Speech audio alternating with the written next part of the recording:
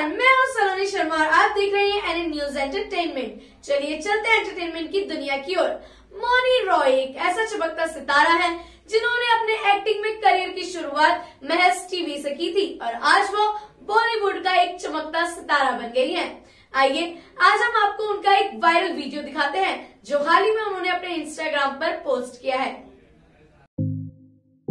TV से बॉलीवुड तक का सफ़र तय करने वाली मोनी रॉय ने कभी भी अपनी एक्टिंग से दर्शकों का दिल जीतने में कोई कसर नहीं छोड़ी है।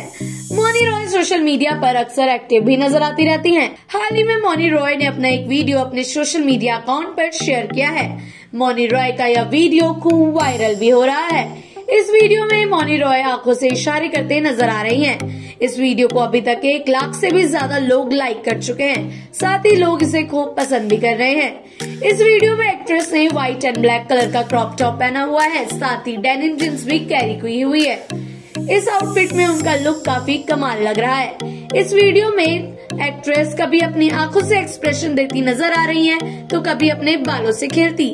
इस वीडियो को शेयर करते हुए मोनी रॉय ने लिखा कि उनको यह सॉन्ग बहुत पसंद आया है।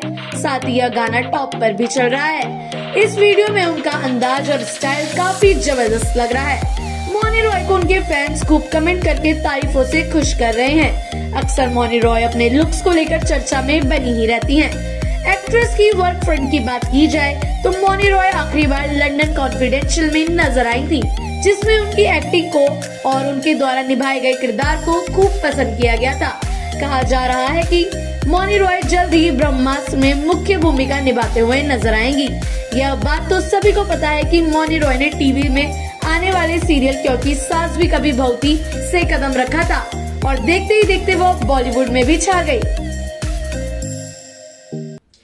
रोज़ाना एंटरटेनमेंट की अपडेट्स जानने के लिए देखते रहिए सिर्फ़ और सिर्फ़ एन न्यूज़ एंटरटेनमेंट